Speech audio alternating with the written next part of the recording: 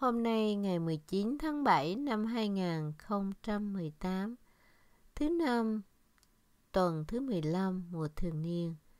Trích sách tiên tri Isaiah, đường lối người công chính thì ngay thẳng, Chúa ban cho bằng phẳng đường nẻo của người công chính. Lạy Chúa, chúng con cậy trong Chúa trong đường xét xử của Chúa. Thánh danh và sự kính nhớ Chúa là sự ước mong của tâm hồn. Ban đêm, hồn con khao khát Chúa, và sớm mai khi thức dậy lòng trí con hướng về Chúa. Từ khi Chúa thực hiện việc xét xử ở trần gian, thì người dương thế học biết sự công chính. Lạy Chúa, Chúa ban cho chúng con ân bình an, vì mọi việc chúng con làm đều do Chúa làm cho chúng con. Lạy Chúa, trong cơn hoạn nạn chúng con đã tìm kiếm Chúa, và trong khi Chúa sửa dạy chúng con kêu vang đến Chúa. Lạy Chúa, trước tôn nhân Chúa chúng con khác nào như đàn bà mang thai, sắp sinh, kêu la đau đớn, chúng con cưu mang, chúng con đau đớn như phải sinh con. Chúng con không mang lại sự cứu độ cho trần gian, và không còn người sinh ra trên trần gian. Người chết của Chúa sẽ được sống, các xác chết của con sẽ sống lại. Hỡi những kẻ nằm trong tro bụi, hãy thức dậy và nhảy mừng, vì xương Chúa là xương ánh sáng và trái đất sẽ làm tái sinh u tối. Đó là lời Chúa, ta ơn Chúa. Từ trời cao xanh, Chúa đã quan sát địa cầu. Phần Chúa lạy Chúa, đời đời còn mãi và danh Ngài tồn tại đời nọ tới đời kia.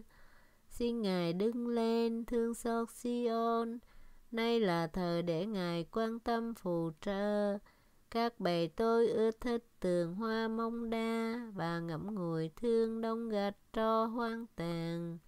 Từ trời cao xanh Chúa đã quan sát địa cầu.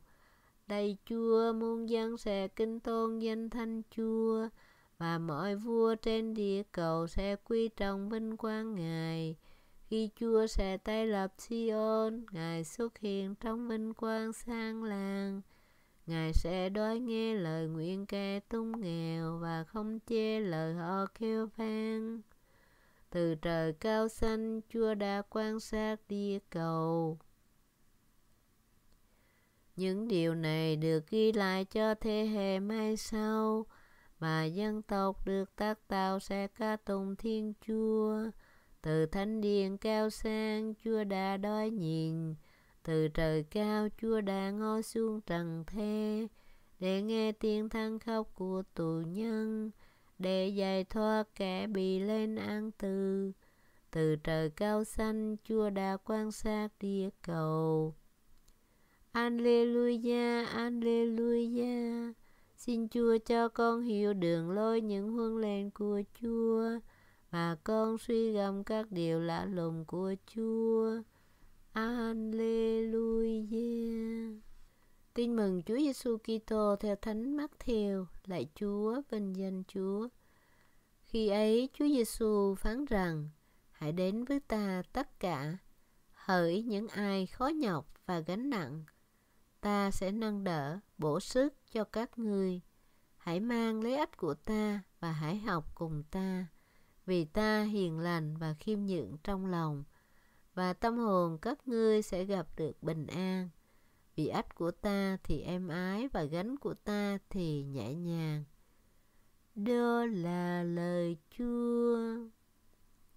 Lạy Chúa Kitô, ngợi khen Chúa. Sứ điệp Chúa Giêsu mời gọi mọi người hãy mang lấy ách êm ái, gánh nhẹ nhàng của người giữa cuộc sống khổ ải trần gian. Cầu nguyện, Đại Chúa Giêsu, có những lúc con gặp sự chẳng lành, những lo lắng khổ đau.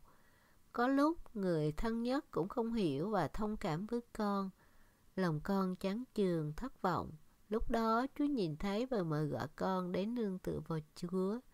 Chúa đến chia sẻ cuộc sống với con.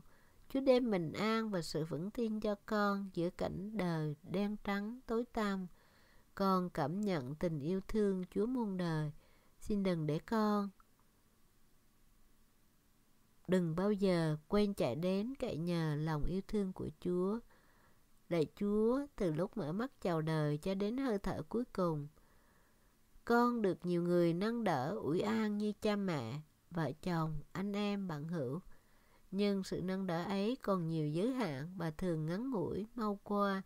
Chỉ nơi Chúa con mới tìm được sức nâng đỡ lâu dài và niềm an ủi vô tận vì tình thương Chúa vô bờ và tồn tại đến muôn đời. Lạy Chúa, xin dạy con biết chạy đến với Chúa, con sẽ tìm được bình an khi đến với Chúa nơi tòa cáo giải. Con sẽ tìm thấy sức mạnh để chịu các thử thách hy sinh nhờ ân bí tích, nhất là sức sống thần thiên của Thánh Thể Chúa. Chúa hằng nuôi dưỡng và bổ sức con, nâng con dậy khi con siêu té. Con nương tựa trọn vẹn vào Chúa, xin ban cho con hoa trái của tình yêu là sự dịu hiền, là lòng khiêm cung. Xin dạy con học nơi tình yêu Chúa, lòng khiêm nhường và sự dịu ngọt. Và xin Chúa giúp con hiến trọn đời mình để mang lấy ách êm ái và gánh nhẹ nhàng của Chúa. Amen. Trích cầu nguyện với Chúa mỗi ngày. Đôi cánh thiên thần Một người Nga sau khi mãn tù đã kể lại tâm trạng mình như sau – dáng vẻ bên ngoài của tôi xấu xí đến độ không ai muốn gần tôi. Trong thời gian lao động cải tạo, thay vì là làm trại chung với các trại viên khác, tôi đã tự giam mình dưới hầm. Tình cờ một tai nạn xảy ra khiến tôi bị gù lưng. Một ngày kia có một cậu bé nhìn tôi thật lâu rồi hỏi một cách nghi thơ. Chú ơi, chú mang cái gì trên lưng thế? Tôi nghĩ rằng cậu bé chế nhạo tôi. Dù vậy tôi bình thản trả lời, Cục bướu đấy cháu ạ. À.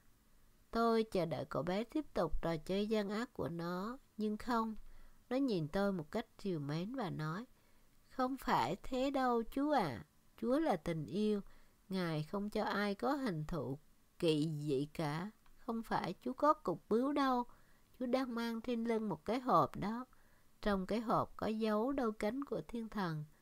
Rồi một ngày nào đó cái hộp mở ra và chú sẽ bay lên trời với đôi cánh đó. Ý nghĩ ngộ nghĩnh của cậu bé đã làm tôi sung sướng đến khóc thành tiếng.